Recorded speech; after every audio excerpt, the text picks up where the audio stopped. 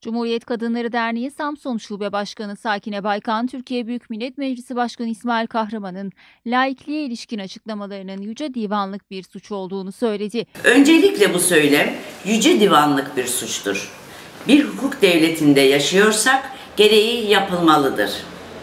Meclis Başkanı şimdi şahsi fikirlerini ifade ettiğini söyleyerek hiç tevil etmeye, tornistan yapmaya çalışmasın.